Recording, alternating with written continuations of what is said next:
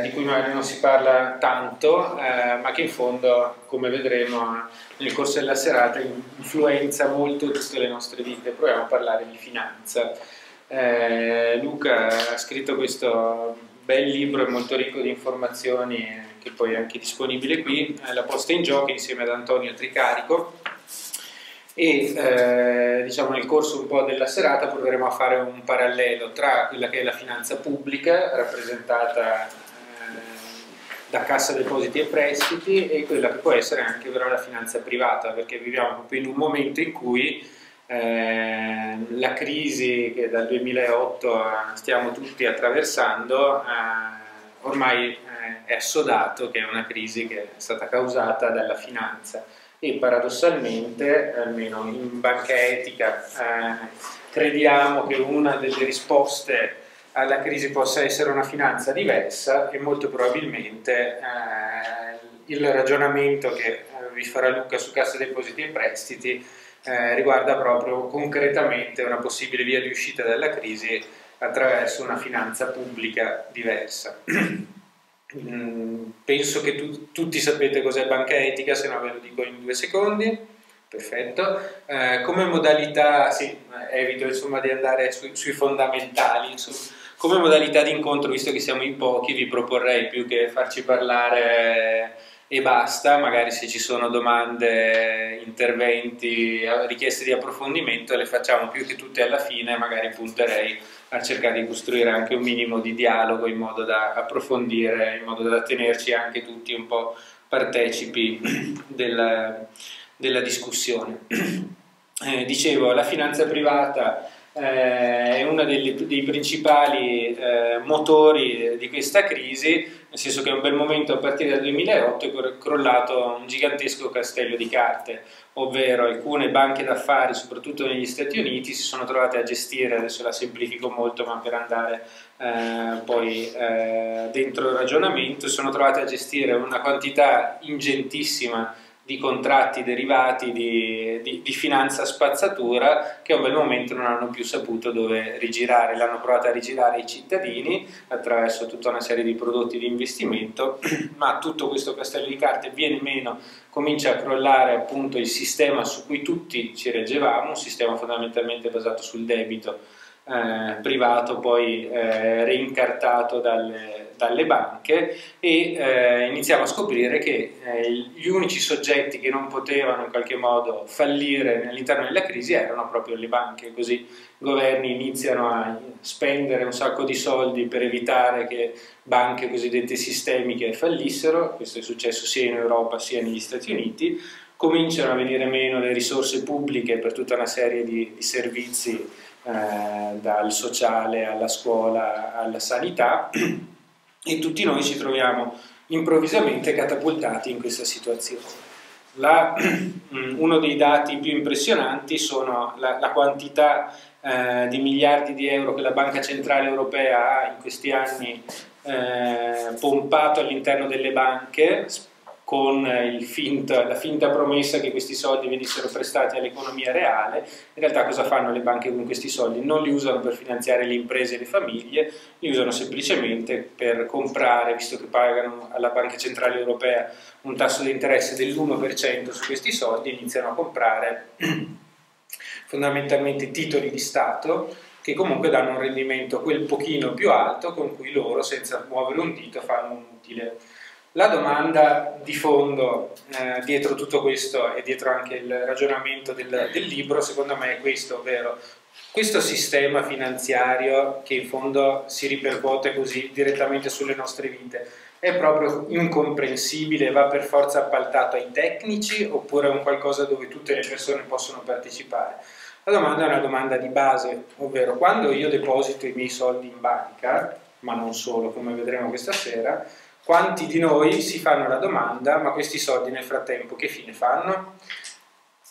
nel senso che l'unica sicurezza che noi vogliamo è che questi soldi a un bel momento siano di nuovo disponibili per la nostra, eh, per, a, a nost- siano di nuovo a nostra disposizione quando li rivogliamo indietro. In realtà se con questi soldi ci tolgono in qualche modo il terreno da sotto i piedi, eh, sicuramente poi li possiamo riavere, ma probabilmente avremo perso tutta una serie di altre cose che un po' quello che è successo. La domanda invece che si pone nel libro di Luca è i soldi dei depositi postali, che fine fanno una volta che io vado, li deposito e, eh, nelle varie forme di risparmio postale previste, come vengono utilizzati? Questi soldi vengono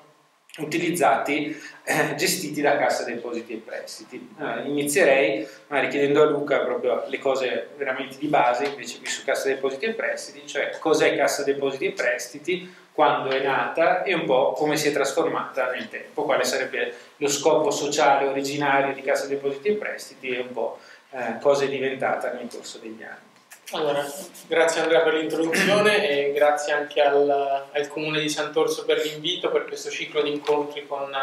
con Altra Economia e a voi ovviamente che, che siete venuti qua stasera. Allora, Cassa Depositi e Prestiti è un soggetto ibrido nel panorama della finanza italiana, nel senso che formalmente non è e non è mai stata una banca. Te fino adesso hai parlato di banche, e Cassa Depositi e Prestiti non è mai stata una, uh, una banca. Eh, è in realtà o è nata uh, come ente di diritto pubblico, quindi come una delle tante istituzioni dello Stato, è nata oltre 150 anni fa e aveva un compito specifico, raccogliere risorse, in questo caso dai cittadini,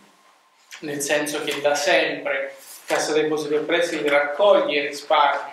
dei cittadini italiani attraverso il circuito delle poste e eh, per utilizzarlo eh, con un compito specifico che era quello di garantire a tutti gli enti locali, a tutti gli enti territoriali, la possibilità e la capacità di realizzare investimenti sul territorio finanziandosi non sul mercato, quindi non dalla finanza privata, ma finanziandosi eh, presso un istituto di diritto pubblico che garantiva risorse a un tasso agevolato.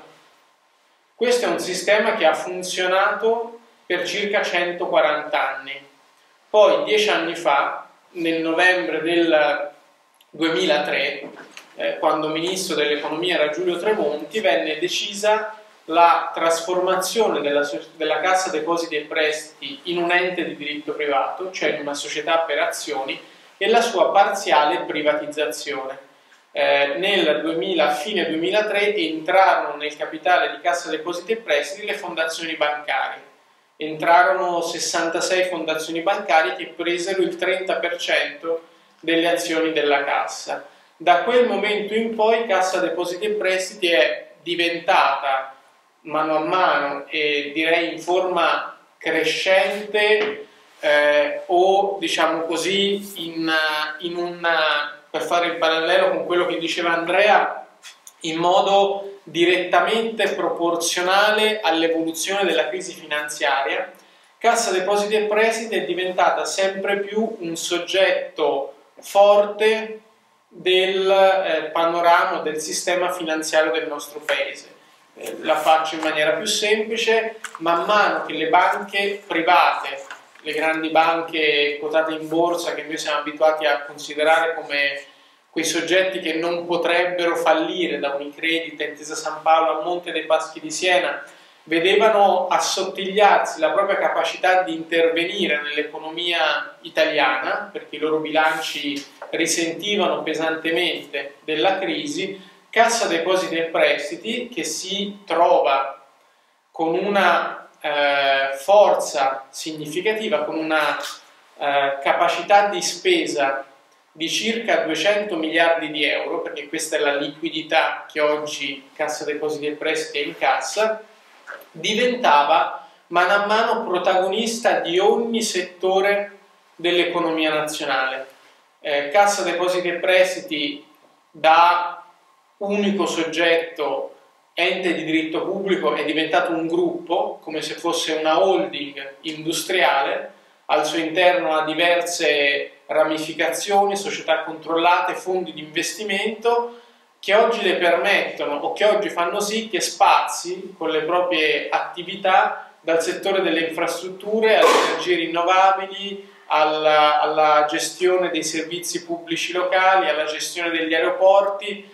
Alcuni eh, la chiamano la nuova IRI,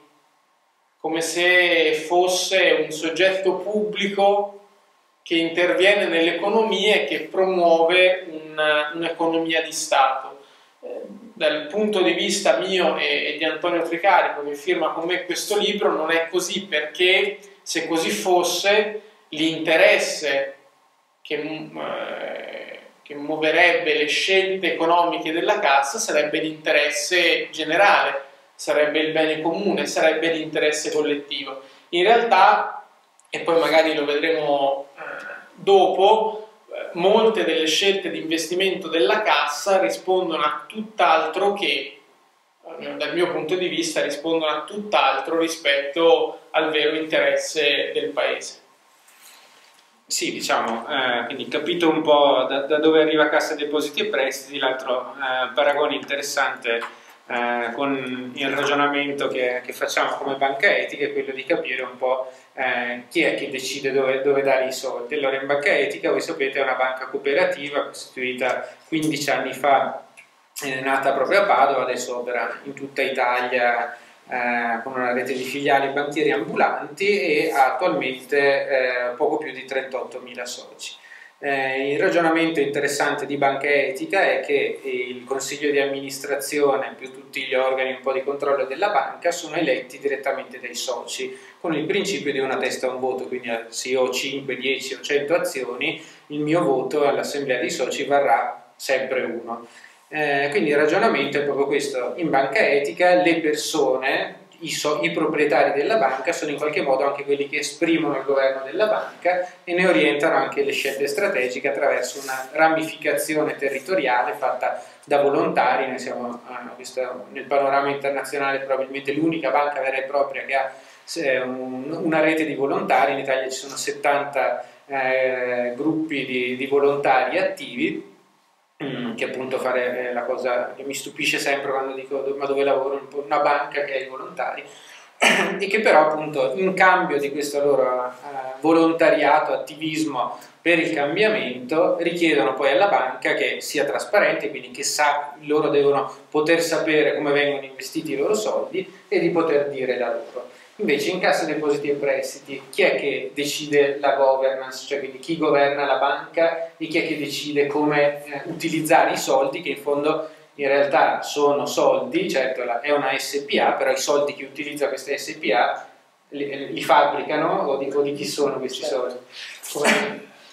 È vero, è importante essere chiari su questo. Cassa depositi e prestiti investe quasi integralmente i risparmi dei cittadini italiani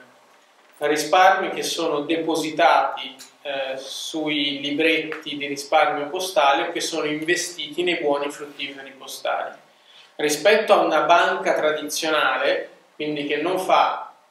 diciamo, una delle differenze rispetto a una banca tradizionale abbiamo già visto che Cassa Depositi e Prestiti non deve preoccuparsi di fare raccolta, perché c'è qualcun altro che lo fa per lei.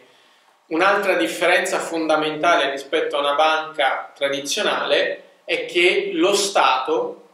è sostanzialmente il prestatore di ultima istanza, ovvero che se uno acquista un buono fruttifero postale, qualora questi soldi venissero investiti nella maniera sbagliata, qualora Cassa Depositi e Prestiti non fosse in grado di rimborsare il buono, tutto a garanzia dello Stato. E immaginerete che questo eh, permette anche di prendere delle decisioni abbastanza importanti. Per farvi un esempio, ed è una cosa che ho eh, provato a, ad affrontare qua sul, sul, numero di marzo di Altra Economia, c'è un articolo sulla privatizzazione delle poste, e nel descrivere ciò che accade, ciò che potrebbe accadere con la privatizzazione delle poste, parlando del tema dei buoni fruttiferi postali, eh, chiedendo se c'è un limite per ogni buono che viene emesso alla sottoscrizione, loro ti dicono che i buoni vengono emessi a rubinetto. In ge- ha detto in, l'ufficio stampa di Cassa Depositi e Prestiti mi ha spiegato che in gergo si dice a rubinetto, nel senso finché loro vogliono, loro vendono. Tanto poi dietro non devono avere un patrimonio di vigilanza della banca a eh, coprire il, il proprio a coprire le risorse che poi mettono o garantiscono al mercato, loro semplicemente hanno qualcuno, cioè lo Stato, che garantisce per ogni singolo eh, euro di eh, valore de, dei buoni fruttiferi postali emessi. Questo sul fronte della raccolta, che quindi è molto democratica, nel senso che alla fine, sfruttando la rete degli uffici postali, Cassa Depositi e Prestiti si può dire che è la banca con il maggior numero di filiali del nostro paese, nel senso che a nessuna banca privata verrebbe dato il permesso di detenere una posizione del genere. L'antitrust ha sanzionato eh, in tutto il periodo, diciamo che è iniziato dalla fine degli anni 90, delle progressive aggregazioni tra le banche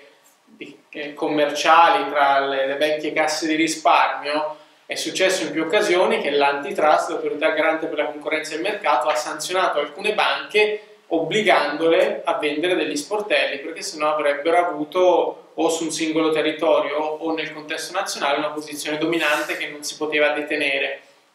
Cassa depositi e prestiti, sfruttando gli uffici postali, questa cosa qui non, non la, questo problema non, non, lo vive e non, e non lo affronta. Se c'è questa democrazia nella raccolta dei, eh, delle, delle, risorse, eh, non, è, non c'è la stessa democrazia nei processi decisionali, nel senso che eh, sostanzialmente la cassa eh, ha due eh, soggetti che ne indirizzano in maniera significativa l'azione. La prima sono le fondazioni bancarie, per darvi un'idea sono l'azionista di minoranza, oggi, prima avevo parlato del 2003, oggi detengono il 18% delle azioni, ma nominano il presidente che è Franco Bassanini, ex ministro in più, eh, in più eh, governi, già deputato e senatore in diverse legislature. L'altro organo di indirizzo pesante e importante è il Ministero del Tesoro, che è il primo azionista e che ha senz'altro potere di decisione rispetto alla... Eh, rispetto all'azione della banca. Io credo che questo sia un aspetto importante. Da una parte,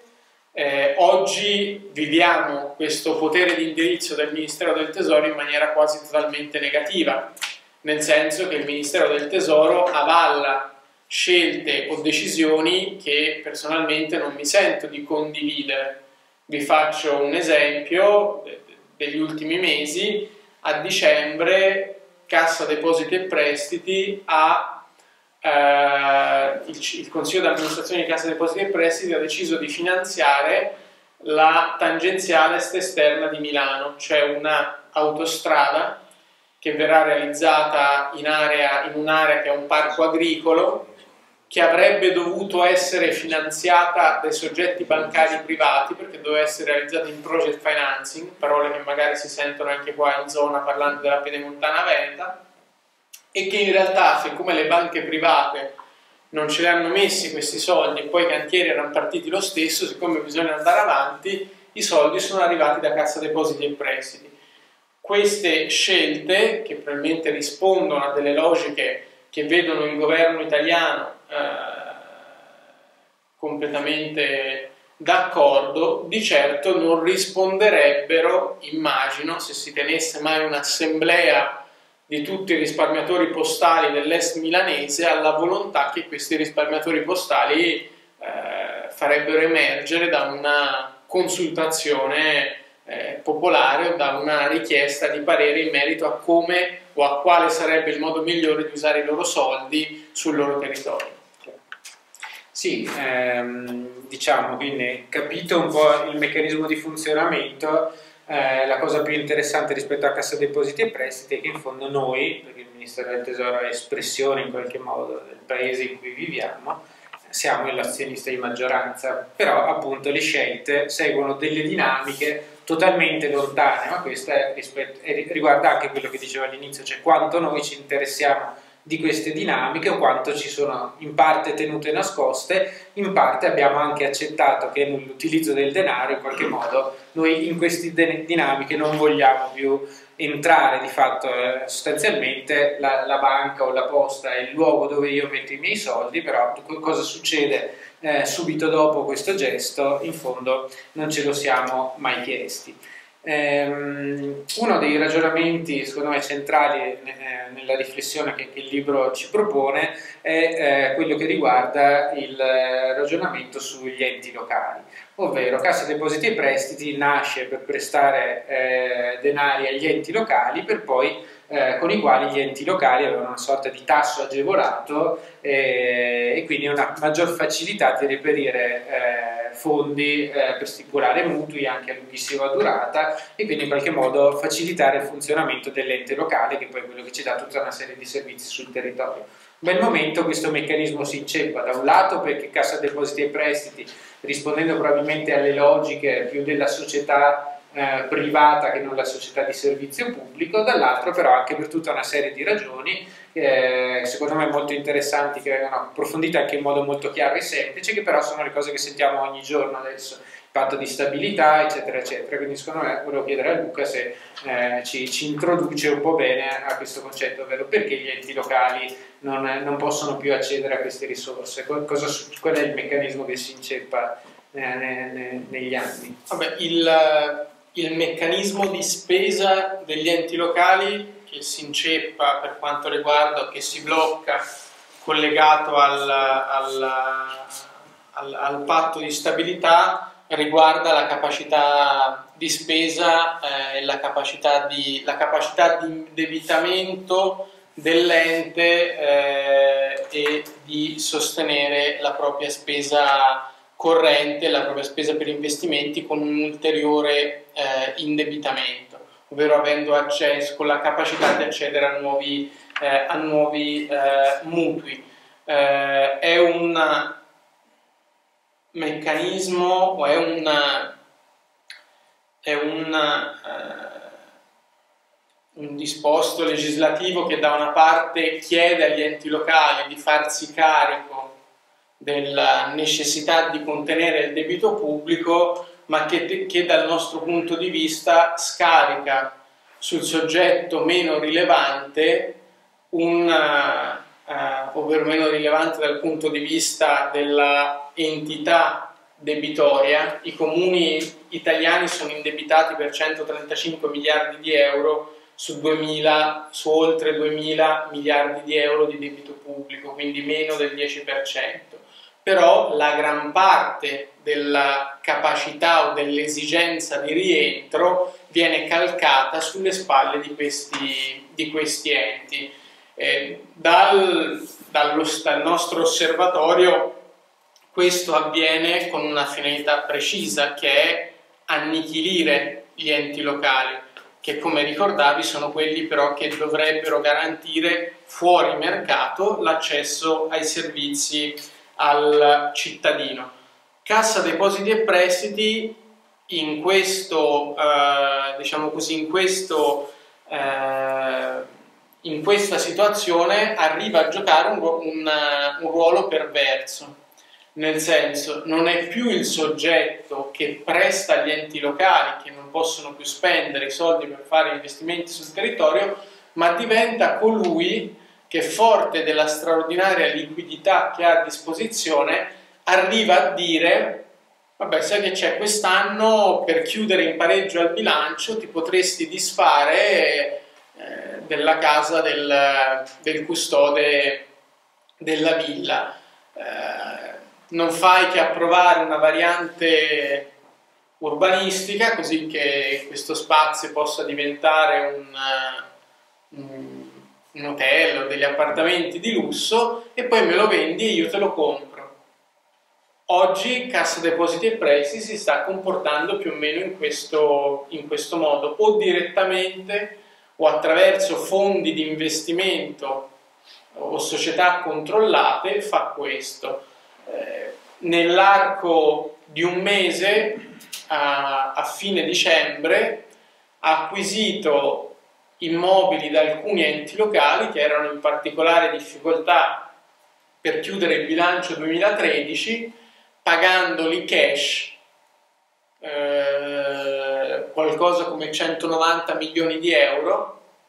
ehm, per operazioni concluse veramente nell'arco di tre giorni tra Natale e Capodanno. Eh, probabilmente comuni particolari, viene da pensare uno è il comune di Firenze che era amministrato dall'attuale presidente del Consiglio che eh, aveva iscritto a bilancio preventivo 2013 un valore di 23 milioni di, per rispettare il patto di stabilità avrebbe dovuto vendere beni immobili di proprietà per 22,9 milioni di euro. Non è riuscito a farlo nell'arco di tutto l'anno e il 27 dicembre ha venduto il teatro comunale a un fondo di investimento di cassa depositi e prestiti per 23 milioni di euro. E questo eh, permette di eh, pareggiare, il, di, di, tenere in, in, pareggio il proprio bilancio, di non sforare i limiti imposti dal calcolo del patto di stabilità relativi al rapporto tra, tra spesa corrente e indebitamento e quindi di non incorrere in sanzioni da parte del, del governo che è il controllore. Cassa Depositi e Prestiti si assume questo ruolo eh, da una parte o nel breve periodo può essere considerato anche un ruolo positivo nei confronti di quegli enti locali che hanno la possibilità di cedere eh, so, l'inceneritore pi piuttosto che la partecipazione nella società che gestisce gli aeroporti eh, piuttosto che alcuni beni immobili nel breve periodo. Nel medio-lungo periodo gioca un ruolo totalmente, eh, totalmente alieno agli interessi pubblici. Oggi, eh, venendo qua verso Sant'Orso, mi, son mi sono fermato a Peschiera del Garda, dove nei, nei, nei, giorni scorsi, nelle settimane scorse, si è perfezionato la cessione del sistema delle fortezze di Peschiera, cioè tutta la, la, parte delle, delle caserme e dei, eh, diciamo così, dei, eh, dei, dei, beni del demanio, ex demanio militare, le fortificazioni della città a cassa depositi e prestiti dopo che queste erano state oggetto ovviamente di alcune variazioni urbanistiche, nel senso che, che monumenti storici del nostro paese hanno ottenuto la possibilità di essere trasformati in ristoranti piuttosto che, che eh, abitazioni piuttosto che hotel di charme eh, quando non si è data la possibilità che Cassa Depositi e Prestiti prestasse risorse al comune di Peschiera per intervenire per valorizzare, ma da un punto di vista storico, artistico e culturale, quei beni che rappresentano davvero, perché così lo dice eh, la tutela a cui erano sottoposti da parte del Ministero dei Beni Culturali, un monumento storico della nazione. Sì, quindi di fatto noi siamo di fronte a una situazione in cui Cassa Depositi e Prestiti un po' droga l'economia pubblica, ovvero eh, svuota i, comuni, i territori delle, delle, dei propri patrimoni e immette sostanzialmente della liquidità nei comuni ma che di fatto non risolve eh, i problemi nel medio e lungo periodo. Di fatto il comune di Firenze è riuscito a stare nel patto di stabilità, ha perso un patrimonio del proprio territorio perché non lo controlla più ed esce comunque dalle logiche di gestione che l'ente locale invece ha eh, proprie. E di fatto incassa una liquidità che però gli permetterà un po' di fare delle cose, però appunto non, non in ottica di, di medio e lungo periodo. È proprio questo un po' il, mm, il, eh, il nodo centrale, ovvero eh, se eh, con i miei soldi, che in questo caso sono messi nel, eh, eh in posta, alla fine viene fatto qualcosa che, che è contro eh, di me, è lo stesso ragionamento che dobbiamo fare anche nel campo della finanza privata, ovvero se i miei soldi che io deposito in banca vengono poi utilizzati per finanziare centrali a carbone o eh, eh, vengono utilizzati per fare attività speculative sulle materie prime, sul cibo, piuttosto che vengono utilizzati eh, per finanziare grandi opere che eh, di fatto di grande hanno solamente che eh, deturpano il, il, costo e il disastro eh, ambientale che provocano, alla fine eh, qual è il mio ruolo attivo come cittadino. Eh, pensiamo ad esempio eh, in campo della finanza privata i disastri che provoca eh, il ricorso ai paradisi fiscali da parte delle banche. Sostanzialmente sono, quelli sono soldi nostri eh, che vengono sottratti eh, alla collettività, ovvero le banche prendono i soldi, li utilizzano attraverso tutta una serie di scatole per portarli in posti dove, non, dove gli utili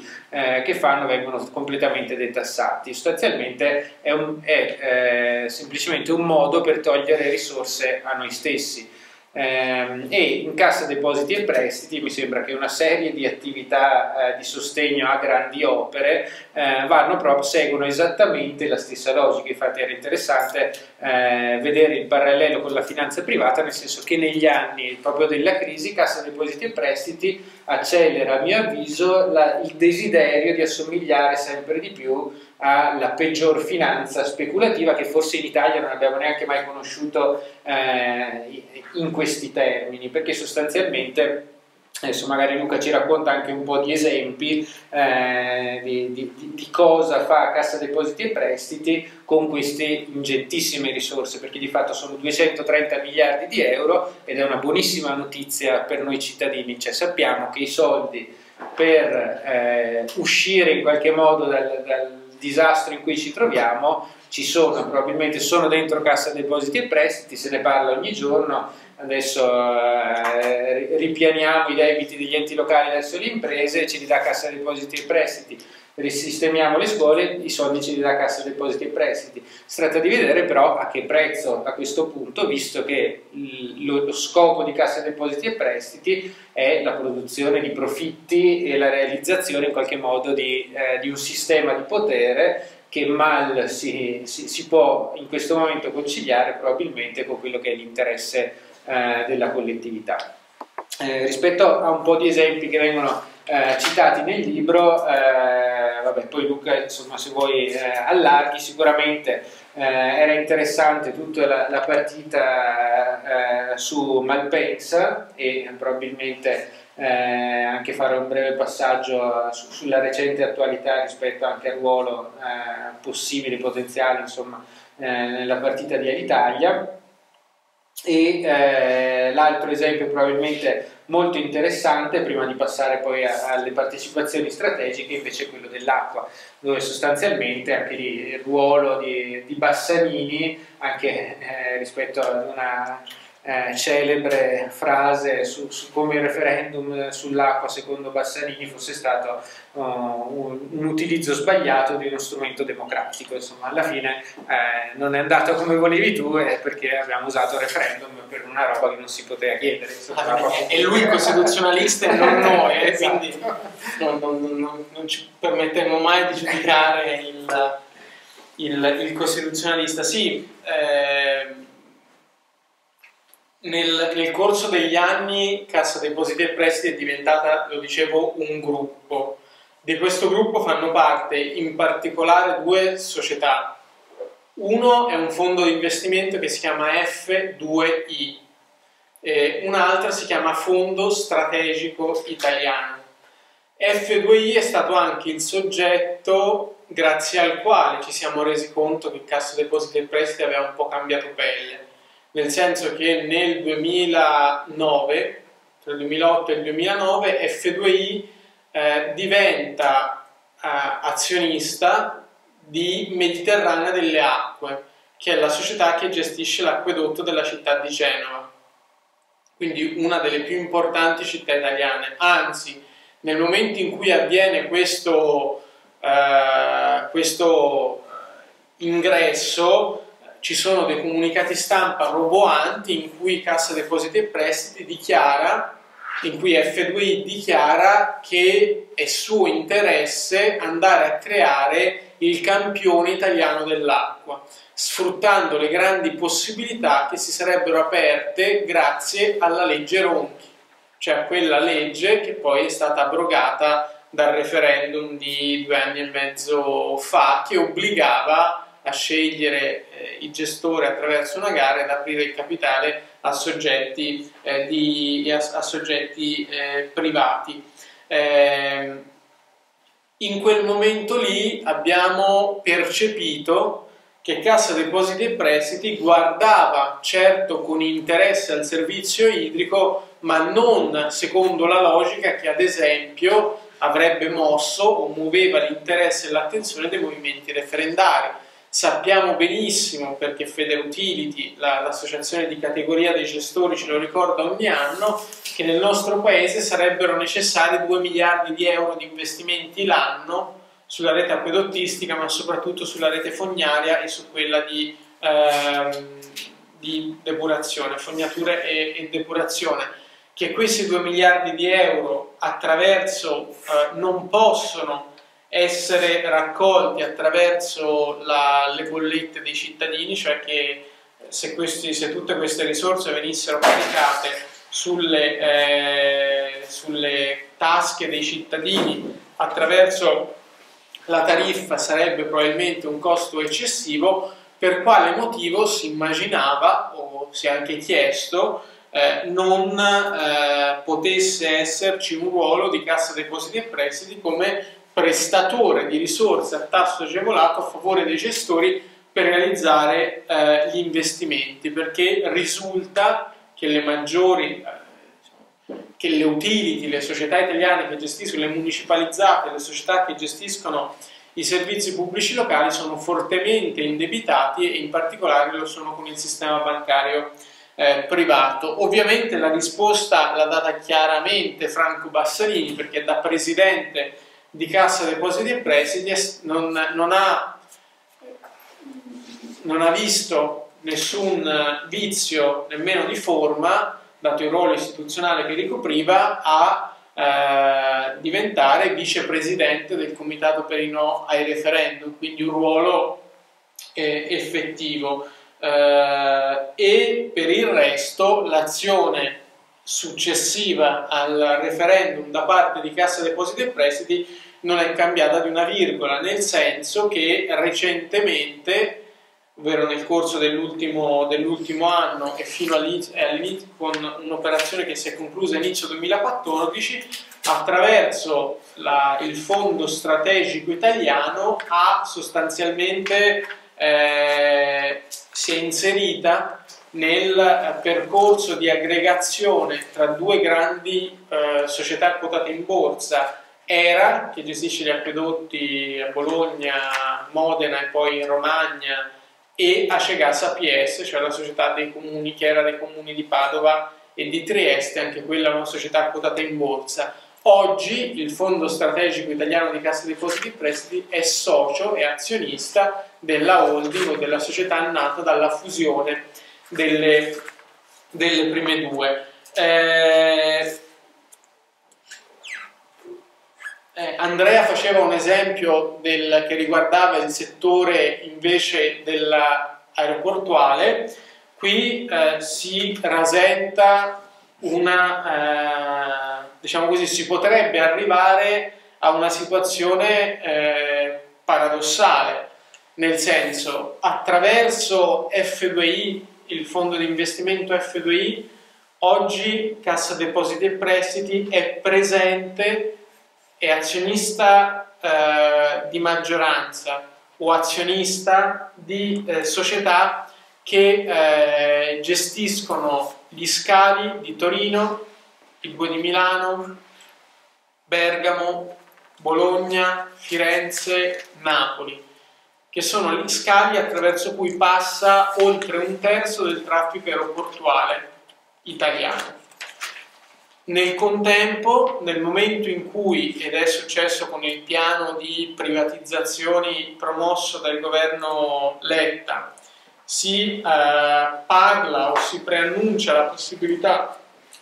di una privatizzazione dell'ENAC, cioè dell'ente nazionale di controllo sull'aviazione civile, la stessa F2I, cioè lo stesso fondo di investimento, si fa, si fa avanti per eh, rilevare la quota che il, che il governo, che lo Stato intende cedere. Si potrebbe arrivare al paradosso di un controllore e di un controllato che sono lo stesso soggetto, diciamo così, ha, di un controllore che ha lo stesso azionista di eh, un, soggetti controllati ma che hanno una uh, quota di mercato significativa e che però questo azionista e questo controllore non sono pubblico e pubblico ma sono privato e privato. Il privato che deve controllare, eh, che deve controllare se stesso. l'operazione Malpensa, così come quasi tutte le operazioni in ambito aeroportuale, eh, dal mio punto di vista, diciamo così, all'inizio quando quando sono iniziate, io ero francamente un po' spaventato da quello che, che vedevo. Oggi vedo più queste operazioni davvero come quel, quella sorta di aiuto portato nei confronti di amministrazioni comunali che probabilmente hanno rapporti particolari con, con Cassa Depositi e Prestiti. Nel libro credo che usiamo l'espressione soccorso rosso, nel senso che l'ingresso in SEA, nella società che gestisce gli aeroporti di Malpensa e Linate, è un aiuto per il comune di Milano.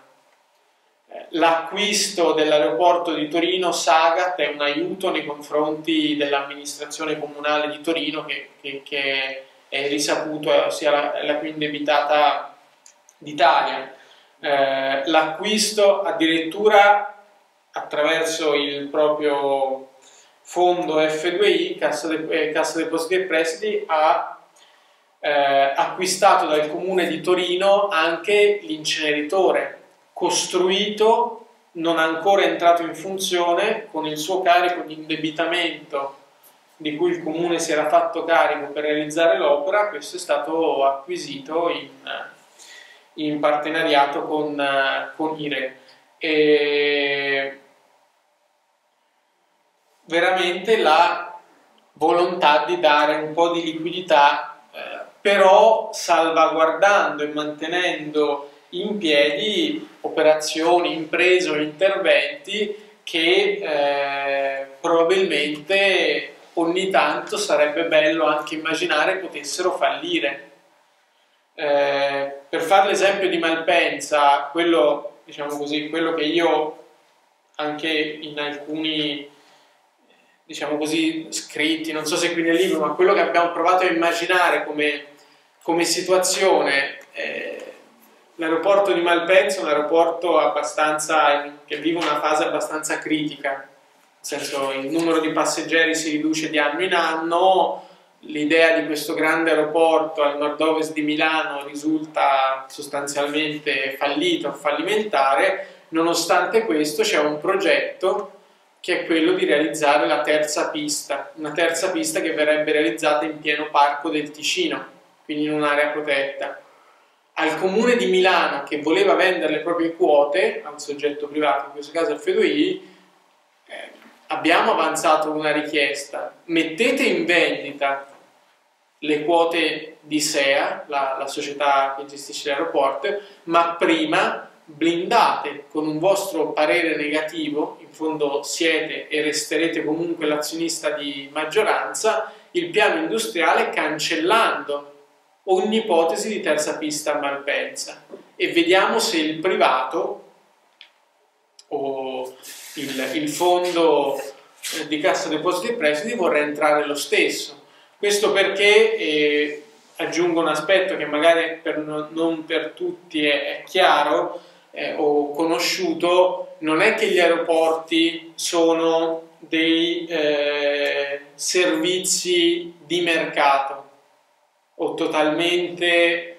eh, che vivono in un mercato totalmente libero. Gli aeroporti eh, esistono, la gestione aeroportuale è affidata tramite concessioni governative, queste concessioni governative riconoscono anche della, una capacità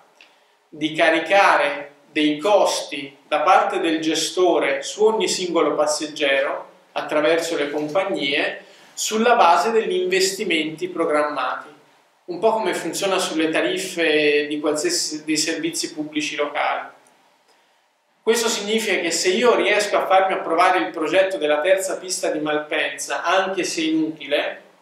io posso caricare su ogni biglietto emesso dei costi di investimento. Tanto che la massima opposizione a questa terza pista su Malpensa non veniva, veniva certo dai comitati ambientalisti, dalle, dai comitati, dalle associazioni ambientaliste, ma ricorsi al TAR sono stati fatti anche da EasyJet, primo operatore, primo aerovettore a utilizzare Malpensa, sa benissimo qual è il grado di saturazione dell'aeroporto, che è molto basso, e probabilmente non, anche essendo una compagnia aerea che ha sposato, insomma, che, che vive dei, dei, dei, dei, passeggeri low cost, quindi che, che amano pagare poco i biglietti dei loro, dei loro viaggi, probabilmente non aveva alcun interesse a caricare su ogni singolo biglietto, credo circa 2 euro, per un intervento infrastrutturale inutile. l'esempio di questi giorni di Renzi che dice usiamo cassa depositi e prestiti per pagare i debiti della pubblica amministrazione, però ci dice anche una cosa importante, ci dice che il governo può indirizzare le politiche di cassa depositi e prestiti, può indirizzare le scelte economiche di quella che formalmente dovrebbe essere un'azienda terza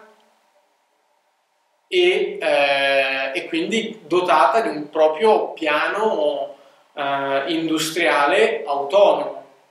Non ci sono riusciti nel caso di Alitalia, qui prima faceva riferimento Andrea, quando gli hanno detto comprate Alitalia, gli hanno detto no, perché probabilmente una cassa depositi e prestiti che ama gira nell'ombra di certo non voleva diventare azionista del più grande flop eh, economico del nostro, del nostro paese perché avrebbe rischiato ovviamente di scoprirsi e di scoprire, e di scoprire le, le carte. Però eh, quello che è indicativo è che comunque il governo ha o manifesta volontà e capacità di influenzare le scelte della cassa. Questo io lo vedo come positivo, nel senso basterebbe un po' di fantasia davvero per cambiare le politiche eh, e le scelte in merito eh, all'utilizzo del, delle risorse della cassa e poi, ma magari ci arriviamo dopo, anche di indirizzare le scelte industriali di alcune aziende strategiche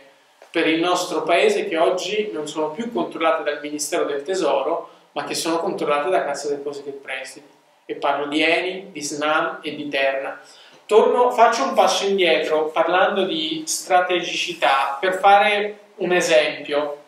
che da una parte volendo introduce anche il prossimo incontro eh, con, con, Davide Biolghini e, e Chiara Spadaro e dall'altro dà l'idea di cosa intendo quando dico che bisognerebbe o si potrebbe usare un po' di fantasia. Eh, Cassa Depositi e Prestiti ha trattato, poi questa è un'operazione che trattata durante tutto il 2013 non si è conclusa positivamente, l'ingresso in una società che gestisce, eh, che costruisce e gestisce centri commerciali, i marchi Iper e Unes, centri commerciali e supermercati. Avrebbe investito in questa operazione 100 milioni di euro. Eh, allora, io credo, ovviamente non ho fatto calcoli analisi economiche, rispetto alla possibile ricaduta. Però immaginiamo di prendere questi 100 milioni di euro, di spacchettarli in 107 fondi da poco meno di un milione di euro, un fondo per ogni provincia italiana. Fondi magari di dimensioni medio-piccole, che io lo dico non perché ci siete stasera, ma lo dico sempre quando faccio gli incontri, che potrebbero essere amministrati ad esempio da Banca Popolare Etica eh, fondi da un milione di euro per ogni provincia per sostenere lo sviluppo delle reti dei distretti di economia solidale, per sostenere da un punto di vista di investimento le esperienze di piccola distribuzione organizzata. L'osservatorio di altra economia ci permette di dire che molto spesso queste esperienze si scontrano a un certo punto del loro percorso di crescita con l'incapacità o con la impossibilità di continuare ad andare avanti perché non ci sono le risorse economiche da investire per, ad esempio, eh, sostenere la realizzazione di una piccola piattaforma logistica che permetta di, eh, diciamo così, un incontro tra produttore, produttore biologico e consumatore locale che non gravi troppo sulle spalle dei primi, che se devono essere produttori non hanno tutto questo tempo da dedicare alla fase di commercializzazione. Credo che eh, nel 2013 pensare di investire in centri commerciali non sia assolutamente strategico e queste operazioni vengono fatte attraverso il fondo strategico italiano, non sia affatto strategico, eh, mentre sostenere questo tipo di realtà probabilmente dovremmo far avere a Bassanini una copia di un'economia nuova del gas alla Z, così capisce che che esistono, mentre investire e sostenere questo tipo di eh, nuovi sistemi di, di, scambio o di incontro tra consumatore e produttore, come peraltro fa Banca Etica, potrebbe essere davvero strategico e non solo dal punto di vista economico e non solo dal punto di vista sociale, anche dal punto di vista ambientale. Io immagino nel momento in cui io vedo che, che Cassa Depositi e Prestiti investe in gran, nella grande distribuzione, io nella mia testa mi dico loro hanno interesse nella filiera agroalimentare, perché la grande distribuzione non è il supermercato, ma è un modo da cui deriva un'organizzazione della filiera agroalimentare che, che eh, preferisce le produzioni estensive, che, produce, che preferisce produrre laddove c'è una una maggiore resa possibile, quindi magari nelle pianure alluvionali particolarmente fertili, ma questo significa anche abbandono del territorio, che significa poi o che comporta poi un costo significativo. L'agricoltura contadina di montagna che viene meno significa che i terrazzamenti vengono abbandonati, che, che la presenza e la manutenzione del territorio viene meno. L'agricoltura la, la, piccola distribuzione organizzata, quelli dei rapporti diretti e dei distretti di economia solidale, delle reti di economia solidale, invece favorisce il mantenimento anche di quell'agricoltura marginale che non può trovare spazio nella, nella grande distribuzione. Quindi probabilmente anche un dei eh, interventi che riducono costi futuri possibili per eh, per lo Stato, che esempio sono i, i, i costi per ripristinare situazioni di dissesto eh, idrogeologico. Allora qual davvero, quale tipo di intervento potrebbe essere davvero strategico? Un unico fondo, un unico investimento da 100 milioni oppure creare tutti questi piccoli fondi o questi, questi fondi diffusi sul, sul territorio? Dal mio punto di vista una cassa lungimirante potrebbe fare il secondo alt- e faccio un altro esempio e poi eh, passiamo alla domanda successiva. Nel libro io e Antonio proviamo a suggerire la possibilità di eh, creare dei libretti di risparmio postale di scopo. E faccio anche qui un esempio concreto. L'Italia è un paese ricco, nel senso che a fronte di 2.000 miliardi di debito pubblico abbiamo, ci sono circa 8.000 miliardi di risparmio privato delle famiglie italiane più o meno la metà sta nelle case, però ci sono anche circa 4 mila miliardi che vengono investiti in vario, in vario modo. Allora, pensiamo una cosa, se lo Stato italiano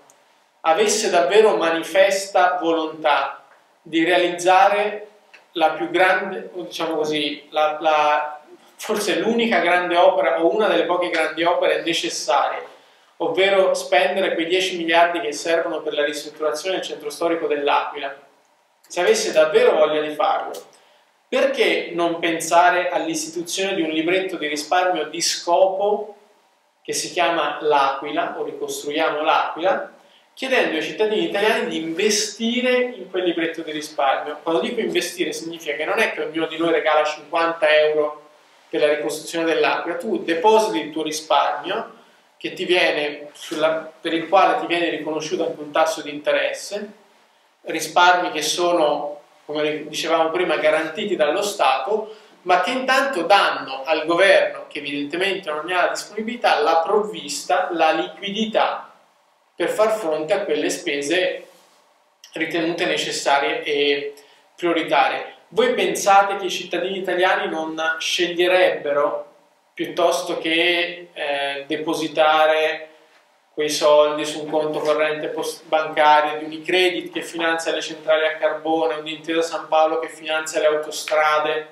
ed è il primo azionista della società che vuole realizzare la Valdastico Nord, soltanto per fare un esempio che vi tocca abbastanza da vicino, piuttosto che prendere quei soldi e spostarli su un fondo che vuole restituire all'Italia un gioiello che, che abbiamo perso e che rischia di essere perso per sempre. Io credo che siccome siamo ancora abbastanza intelligenti tutti, ci sarebbe un, un, un, interesse importante da parte dei cittadini italiani di fronte a un, a un fondo o possibilità di realizzare un investimento di, eh, di questo tipo e magari una cassa con dei eh, una cassa depositi e prestiti con un eh, con una classe dirigente appunto un po' più dotata di fantasia e non così attenta soltanto alla vecchia ricetta del mattone, eh, potrebbe senz'altro scegliere di spostare la propria, di indirizzare i propri interventi in questo modo. Sì. Eh, ma eh, diciamo che il quadro un po' che ne esce adesso si sta abbastanza delineando, ovvero noi abbiamo un, grande tesoro eh, del quale eh, effettivamente ne, ne, parlavamo anche prima con Luca, tranne che Luca Martinelli e Antonio Tricarico pare nessuno si voglia veramente occupare, cioè voglia andare a vedere dentro cosa c'è. Quindi sostanzialmente la, la, domanda un po' che, che come persone insomma, ci, ci, possiamo un po' fare, ma di fronte a, a tutto questo, un po' co, come ci possiamo comportare, cosa possiamo fare? Nel caso della, della finanza privata, un po' l'esperienza che, che, anche a livello europeo si sta sviluppando in questi anni, eh, diciamo varia su due fronti sostanzialmente. Uno è il fronte mh, diciamo del della politica, quindi eh, noi abbiamo che ovviamente chi è che regola la finanza, quindi se eh, le banche possono eh, fare tutto quello di cui abbiamo parlato prima, da paradisi fiscali, attività speculative di vario tipo, eh, lo possono fare in modo tendenzialmente legale o comunque eh, anche quando è illegale facendola franca in tanti modi. Mm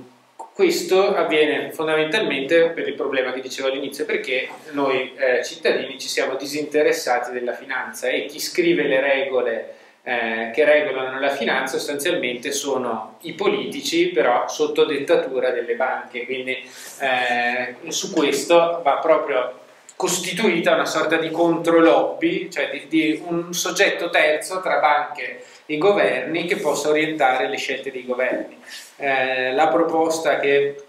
eh, vabbè, non è una proposta solo di banca etica, è una proposta comunque eh, che si sta portando avanti a livello internazionale, probabilmente anche in rete con tante altre esperienze di banche etiche alternative che sono a livello europeo, eh, porteremo anche come riflessione verso le elezioni eh, europee, non ovviamente con un impegno poli in politica diretto, ma in qualche modo perché i cittadini devono in qualche modo anche far capire ai politici che non è che tutti candidi perché sei bello, sei bravo a parlare, ma le persone poi ti votano se tu rispondi concretamente a delle istanze. Sono sostanzialmente nell'ambito della riforma della finanza, il contrasto ai paradisi fiscali, una delle cose delle quali non parla mai nessuno, eh, tra, tra, i politici, eh, la separazione tra le banche commerciali e le banche di investimento, dove sostanzialmente io cittadino avrò tutto il diritto di sapere so, quando do i soldi alla banca, questa banca non ci, non ci gioca al casino, cioè non li prende per andare sostanzialmente a fare delle scommesse sicuramente molto redditizie, ma che mettono a rischio i miei risparmi, ma che invece vengono utilizzati in modo responsabile per finanziare delle attività reali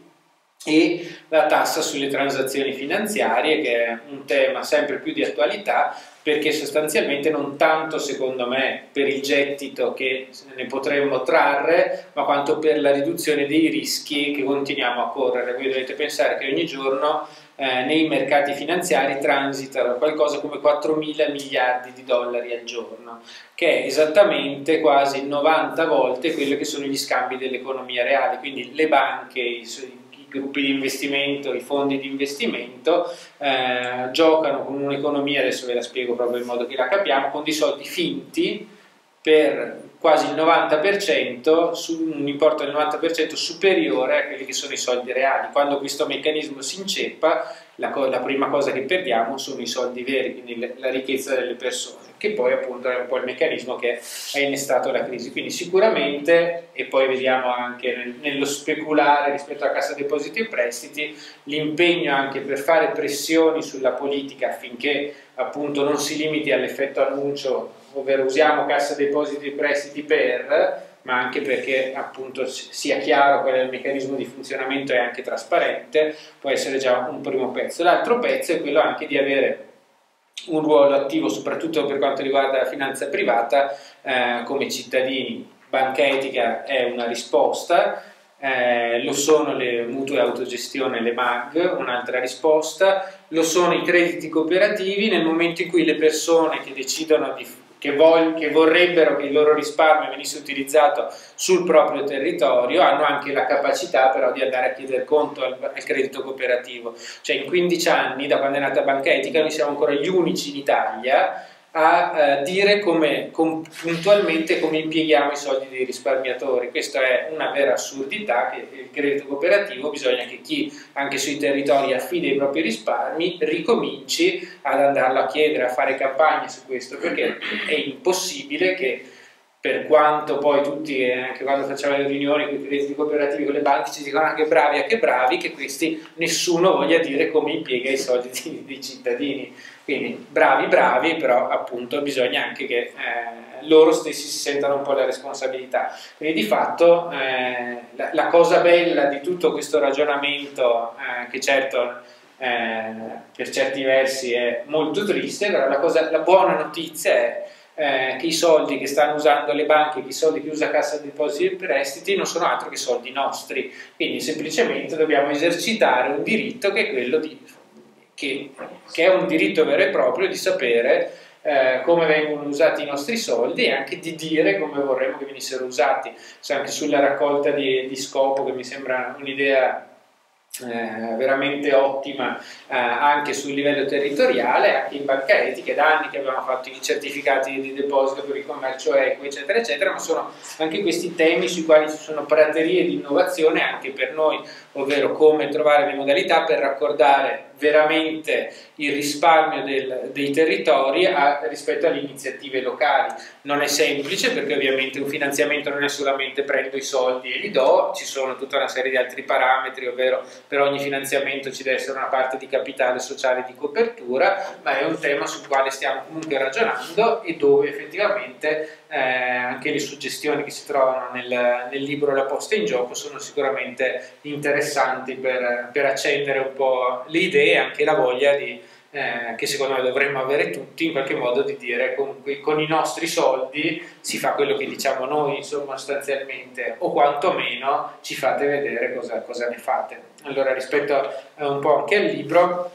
eh, la parte un po' propositiva, quindi come le persone oggi si possono già attivare in modo concreto per, per fare in modo di cambiare eh, la cassa depositi e prestiti che così com'è eh, non ci piace ma che invece avrebbe un grande potenziale per piacerci di più. Sì, non, allora il, il, libro nasce anche per accompagnare un percorso che è eh, ancora in, in fieri, cioè in, in, costruzione, che è quello di una campagna che prenderà il nome di Per una nuova finanza pubblica e sociale, eh, che ha come oggetto, come ha una delle, delle, delle leve della sua azione, proprio una campagna di risocializzazione di cassa depositi e prestiti. Eh, il tentativo o uno dei eh, punti di partenza capisaldi di questa eh, campagna e la richiesta intanto che Cassa Depositi e Prestiti torni a essere un soggetto interamente pubblico, quindi riacquistare le azioni oggi eh, date in eh, cedute al sistema delle fondazioni bancarie e dall'altra di istituire. Già oggi banca, eh, Cassa Depositi e Prestiti ha un comitato, di, un comitato di indirizzo per gli investimenti, ha un comitato di sorveglianza, però questi, queste istituzioni eh, sono composte da soggetti che sono emanazione della Confindustria piuttosto che di altri eh, poteri eh, economici. Il comitato di sorveglianza e il comitato di indirizzo sugli investimenti dovrebbe essere, come ad esempio il comitato etico di banca etica, composto dai, dagli stakeholder e dai portatori di interesse eh, dei territori in cui il soggetto opera. La possibilità di garantire un controllo da parte dei eh, cittadini, anche mediante eh, proposte di, mm, diciamo così, di modifica della governance che apra la possibilità di, ad esempio, valutare, scegliere le capacità e le possibilità di investimento sul territorio a assemblee degli utenti, cioè dei risparmiatori postali di un determinato territorio. Non c'è niente di eh, strutturato, c'è soltanto la volontà o l'idea di poter applicare meccanismi di gestione partecipativa che già si immaginano, si sono immaginati in altri ambiti anche alla gestione del risparmio eh, postale di, di cassa depositi e prestiti. Di certo però tutto questo non sarà possibile finché la cassa resterà un soggetto privato, un soggetto partecipato da eh, realtà che sono le fondazioni bancarie che hanno, che hanno tutt'altro interesse rispetto a quello di spostare l'attenzione, l'azione e, la, eh, e, le politiche e le scelte della cassa nelle direzioni che noi auspichiamo. Eh, il titolo del libro è La posta in gioco perché ovviamente tutto questo che abbiamo provato a raccontare questa sera eh, mette in gioco il, anche il nostro futuro. Nel momento in cui risorse così ingenti vengono indirizzate ancora oggi verso il trasporto aereo, infrastrutture pesanti come le autostrade, eh, processi di privatizzazione, noi ci stiamo o stiamo rendendo ogni giorno più difficile il nostro futuro. Perché credo che ormai sia evidente, o almeno per me è evidente, che dobbiamo immaginarci un modello di sviluppo, un'idea di sviluppo totalmente totalmente diversa. E che queste scelte prese oggi ci ancorano per i prossimi 30 anni a un modello di consumo, a un modello di mobilità, a un modello di gestione di determinati cicli, ad esempio quello dei rifiuti, che ormai sono da considerarsi passati, finiti eh, la cassa potrebbe dare, la cassa depositi e prestiti, le, le, risorse che ha a disposizione potrebbero dare una mano per andare in una direzione o per andare nell'altra. E probabilmente è l'unico soggetto che può farlo con una capacità o con un portafogli così, così gonfio. E per questo ad esempio è eh, accenno a un aspetto legato alle alle grandi partecipazioni strategiche che lo Stato ha dato a Cassa Depositi e Prestiti, a me pare quasi folle o sintomatico dello stato comatoso in cui è il paese, che nel momento in cui eh, appunto il dibattito pubblico è o si concentra su veramente un, un, un dibattito politico il cui livello culturale è ridotto ai minimi termini, eh, ci stiamo stiamo procedendo alla cessione del 49% della società che controlla la rete gas del nostro paese e la rete elettrica del nostro paese, cioè la società CDP Reti che controlla SNAM e Terna. E questo sta avvenendo da parte dei media mainstream, quelli che avrebbero anche l'opportunità di influenzare i decisori politici, nel silenzio più totale. E noi un giorno ci sveglieremo che ci sarà rimasta la proprietà del 15% della rete di adduzione gas del paese e di altrettanto della rete elettrica attraverso cui passa tutta l'energia che viene distribuita. Sono sì infrastrutture strategiche, probabilmente venderle a, a un costo che è superiore, a un costo in termini sociali che è superiore al valore che ci verrà riconosciuto nel, nel venderle. E d'altra parte, siccome queste sono anche società che, che, hanno un peso impattante per quanto riguarda le possibili scelte di politica industriale, io preferirei che fossero in mano pubblica e che ci fosse un pubblico che può intervenire. SNAM sta, vorrebbe realizzare un lunghissimo e gigantesco gasdotto da Brindisi alla pianura padana, a un paese in provincia di Bologna che si chiama Minerbio io preferisco che questo soggetto sia sotto il controllo pubblico e che a un certo punto spero possa arrivare qualcuno